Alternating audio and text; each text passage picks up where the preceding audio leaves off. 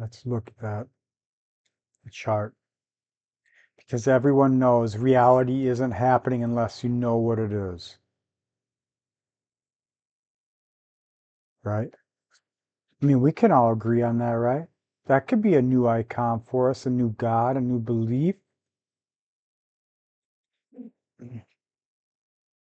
So, life is symbolic. We're the ones who find the meaning.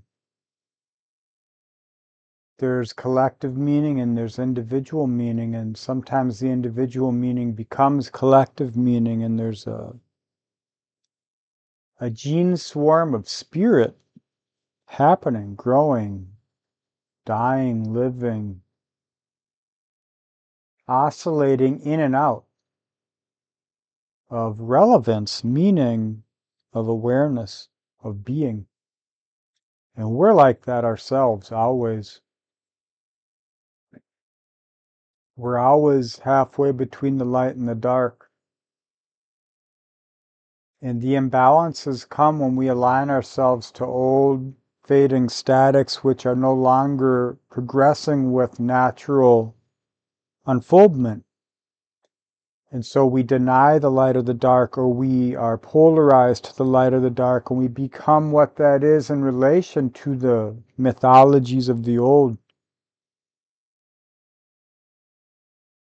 And it throws us back unto ourselves, and then we live the internal mythology into existence, and we either carry that forward or we release it by transforming it. Which becomes what our awareness is growing into, which meets with the world by seeing different stories, different narrations, hearing different melodies, following different rhythms.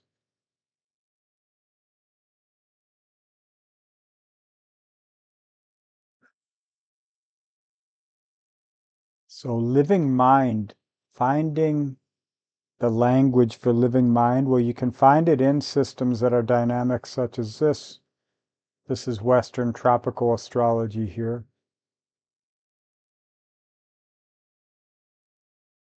I'm looking at a live chart for where I'm at. And if you look, the 10th house is that Taurus to Gemini transition right now.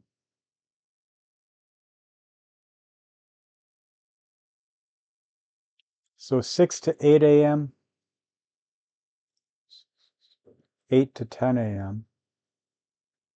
is the energetic frequency if you want to bust it into a 24 hour day.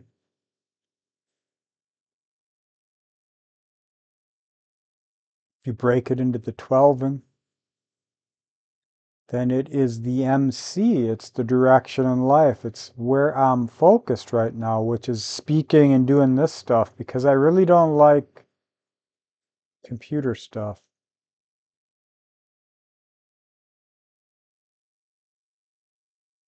In a way, I'm still connected to community in society through a system like this that I can share potential meaning to others. But I'm not dependent on society any more than I need to be. And I can still pay my dues because I will, and I can still benefit from the benefits of uh, consensus narrations, such as infrastructure, convenience, and uh, community essentially.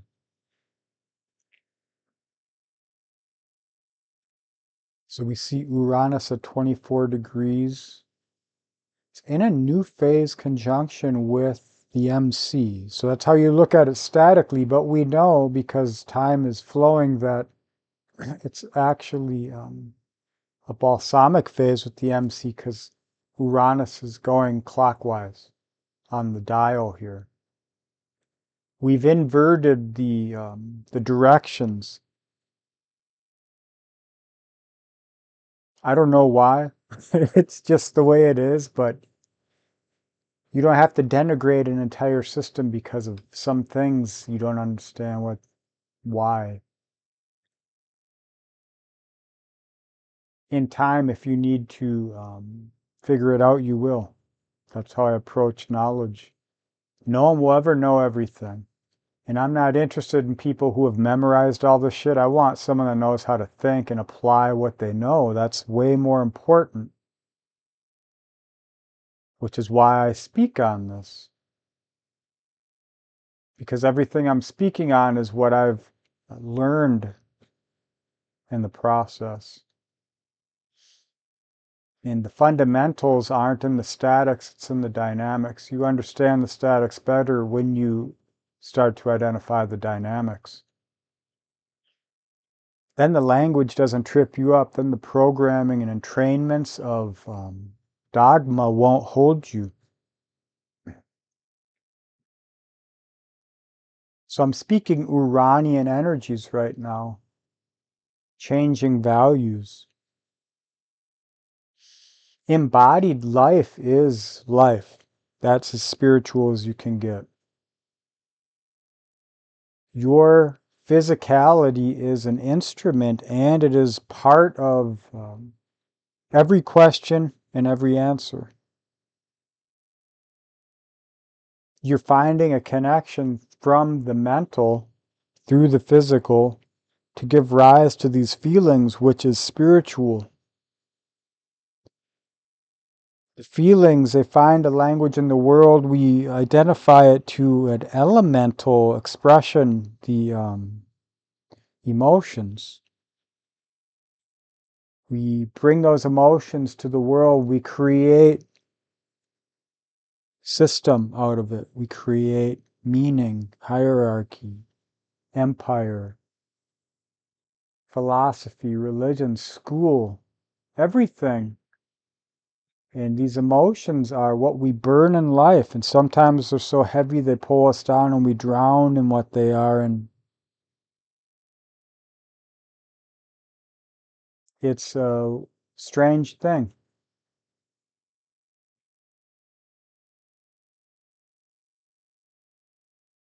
So, your being, your spirit, sometimes you drown, sometimes you burn, sometimes you just flow you know, and the more you live in life, usually the less you hold.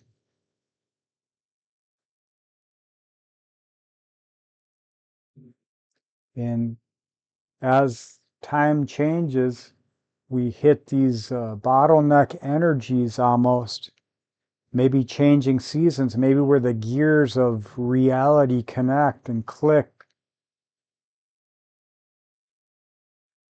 we feel the pressure and we're pulled into the death of our absolutions and we either hold on tight and we sink to the bottom of the river with the slow fading static as it sinks further into the past. Well, we realize we have to release and float into an authentic expression of who we are, even though nothing else is honoring it. And that is exile, that is uh, insanity, that is death.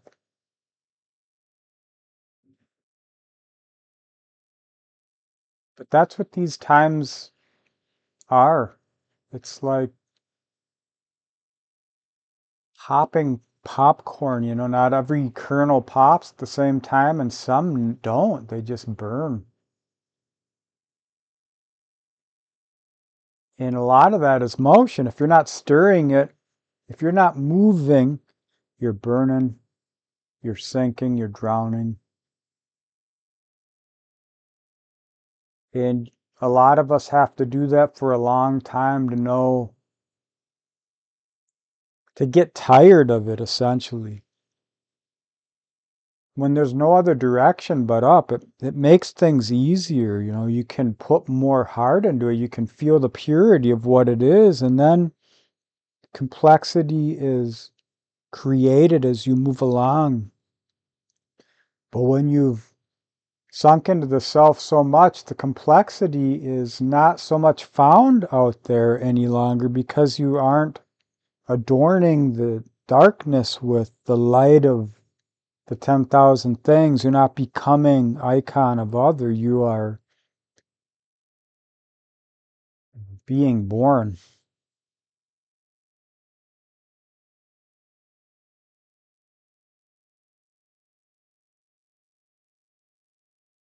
So the moon is coming out of a conjunction with Vesta here. We can say Vesta is in balsamic phase conjunction right now with the moon. And uh, this is conjunct the north nodes of Saturn, Pluto. Moon coming out of that. Now Moon will be heading into a T-square with Mars and Pluto here today in a few hours. That's very powerful.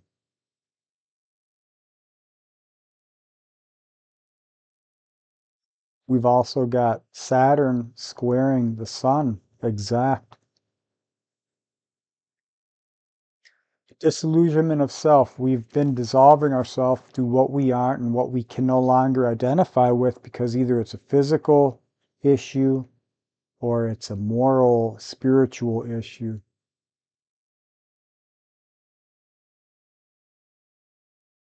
We may see where our gods, our icons were false all along, but it wasn't necessarily the language that matters, but it's the spirit, the purity of the spirit beyond the words and beyond the symbols. And now it's up to you to evolve, change, grow the myth from external icon to what it could be through an individuated process where you bring your unity into awareness by living life as pure as you can. So the tests, the stakes will get higher out there um, so that more people can become aware. Do not let the mistakes of the past, even the past few years, don't let anything hold you back. Ignorance is key to learning. And we don't learn mental shit, it's spiritual, it's felt. And if you had the language for it, you wouldn't be here because you wouldn't need it. All the truth can hmm. truth is a process. It's not a static. All gods will die because they will be named. It doesn't like it's not it's under that it's most important. It's what's the spirit underlying everything and you can strip away your false convictions to find the only static is that everything's dynamic. And so that's what you are, that's who you are. So Mercury coming into balsamic phase with the sun, you may have the awareness, the answer. You may understand and it's like an epiphany. You get this uh, hit, and then the truth of that, the gnosis doesn't isn't born. It can't uh, grow until it is buried under the truth of life over the course of your growing awareness. So you'll be challenged with all these denials and all these. Um, hmm, what's the word? Betrayals and your feelings and your um, the convictions of the old self of the past will rise up and they will fall and burn. They will need to be cut down to form the soil for the emerging self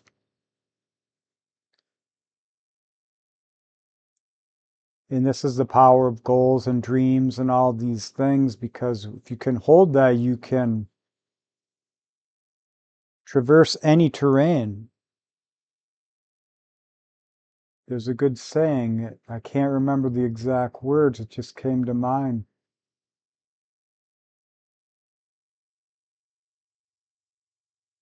But it's something like the pure will can answer any how.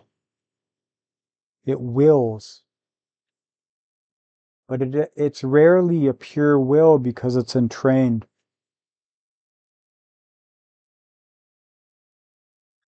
So, feeling into your passion, the purity of who you are as a dynamic, as a learning person, knowing what you've been through, understanding that uh, you won't apply the same methods as you did before because you have a sense of what is more in alignment with yourself when you honor your value. And sometimes you have to find that language, and truly the only way to find the language is to give it new nutrition, new nourishment, experience, to embody new ways of being in life.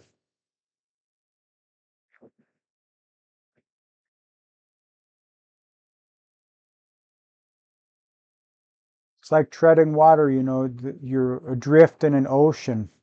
There's no footing because everything changes and it takes you from the purity of uh, who you could be when you put your attention into external icon.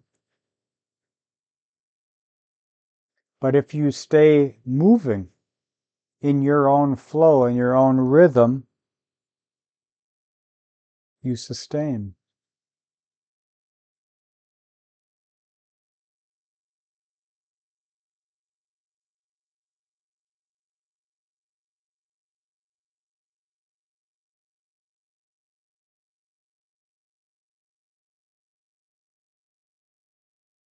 And in this, you find the flows, you identify the flows, and you go with the flows.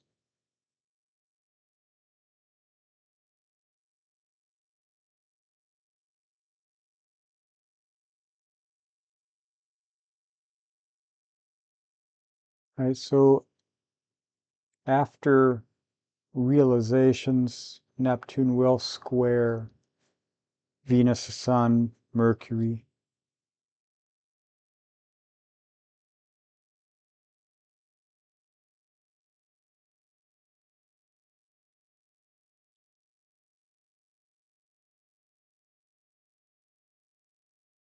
Confusion will reemerge the feeling, the epiphany, the feeling you got from the moment is being brought to life deep underneath all the denial, all the roadblocks, all the terrain that you have to traverse, everything which is against this uh, realization of your purity. All the responsibilities, all the expectations, all the entrainment of the loops of the past, the ghosts of the past, old persona.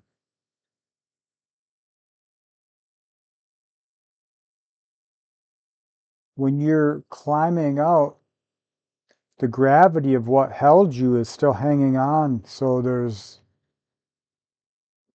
a struggle here with what you know to be true. And you can't know it in the mind, it's known in the feeling. But when the feeling is split, it's hard to know if the feeling is true, so it's got to be something centered.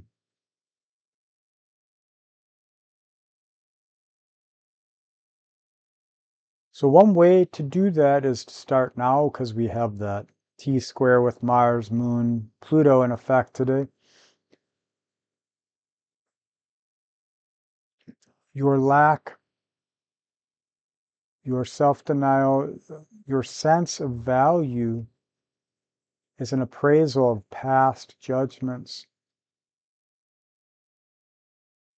It was coursework for you to realize the power of your own individual nature through what you do, how you embody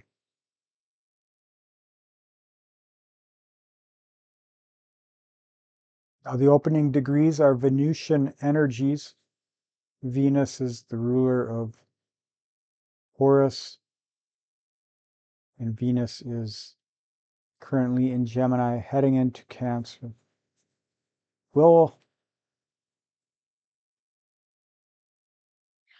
be opposing Pluto when she gets back into Leo here.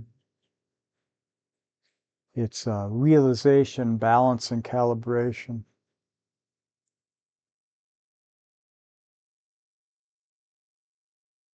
So do not uh, compromise your potential for the convictions of old stories. Try and live in the moment by doing what is good for you and what actually feels good in that way. You may not know how to value yourself, love yourself, um, honor yourself, but you can honor the things that make you feel good that are actually good for you. New language, new uh, experiences, learning new things, enriching a sense of self is good. That'll help you uh, anchor into a sense of self. So when the denials rise up, you still know there's value in a direction and you may not feel the value of the self, but in the process of going towards the direction, you cultivate that, you release what you can no longer carry, and you become more of who you are or who you could be in the process.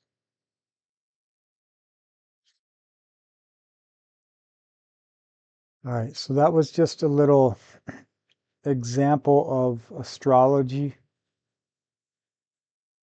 in the moment.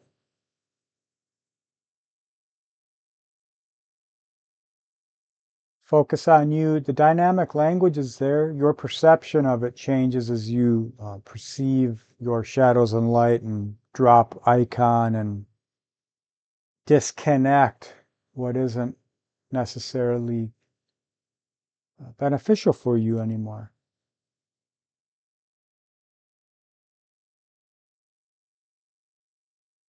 All right.